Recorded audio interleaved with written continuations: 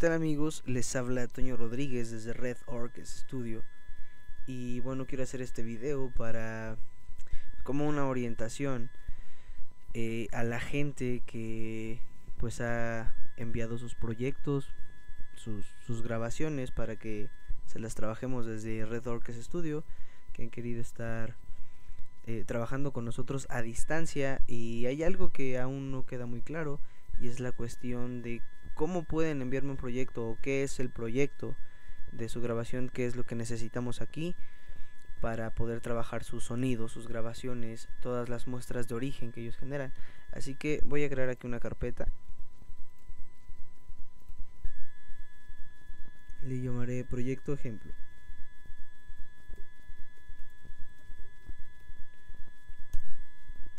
Y voy a abrir un programa muy conocido y fácil de usar que es Adobe Audition. Vamos a esperar un poquito que a que este programa abra para checar pues cómo se genera un proyecto de grabación. Sea, aquí aparece ya la plantilla en blanco abierta y lo que nosotros vamos a hacer es crear una nueva sesión de grabación. Por ejemplo, este es eh, eh, el caso de este programa. Puede ser Cubase, que sería desde mi punto de vista algo recomendable para que el, el proyecto pues salga con una calidad de sonido buena. No digo que este programa sea malo, al contrario, es bueno. Puede ser Audacity, puede ser este, puede ser Cubase, puede ser Pro Tools. Eh, vaya, cualquier DAW que utilicen para grabar su audio eh, puede generarles las carpetas que vamos a ver. Desde aquí vamos a empezar. Aquí también se va a llamar ejemplo. Eh, el proyecto y aquí nos pide una ubicación una ubicación donde se supone que vamos a guardar todos los audios que se generen en nuestra grabación.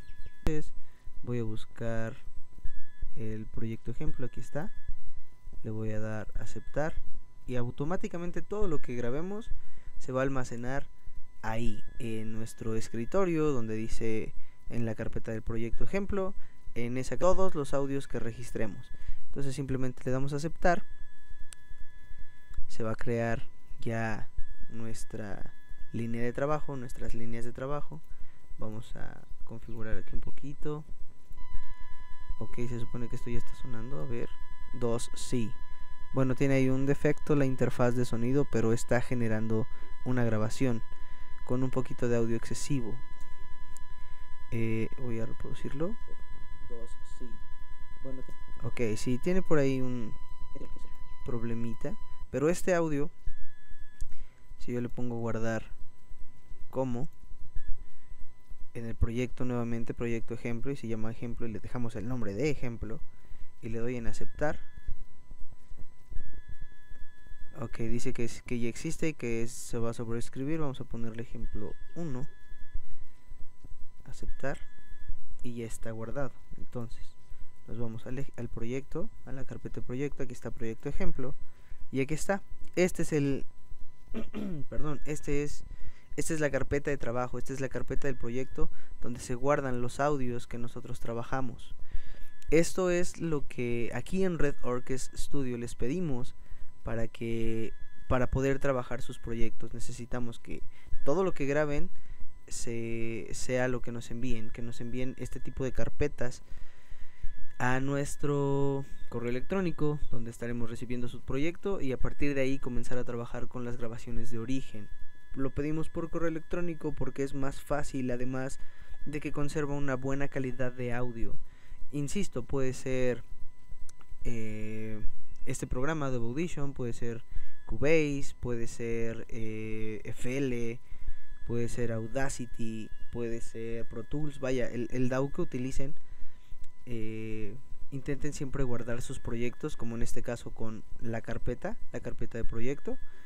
Y si quieren que Red Orchest o cualquier otra cualquier otro estudio de producción, masterización de audio les trabaje, lo, más normal es que les pidan este proyecto, porque es ahí donde se va a estar trabajando.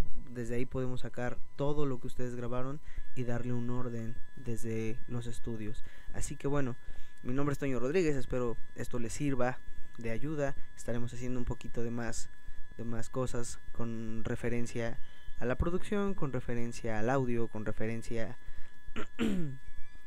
a, a letras, a musicalización y todas estas cuestiones. Y esperemos pues nos, nos sigan. Si te gustó, regálame un like, eh, sígueme en, en Facebook como Toño Rodríguez, así encuentras mi proyecto, mi trabajo como productor, profesor de música y como compositor también de diversos géneros. Yo me considero un músico desgenerado, no tengo un proyecto en sí de un género solo, yo puedo, bueno, he hecho varios géneros musicales, así que si también te interesa seguir música, pues por ahí. Y en YouTube estamos como Red Orchestra Studio a sus órdenes. Sin más, nos vemos en el siguiente video.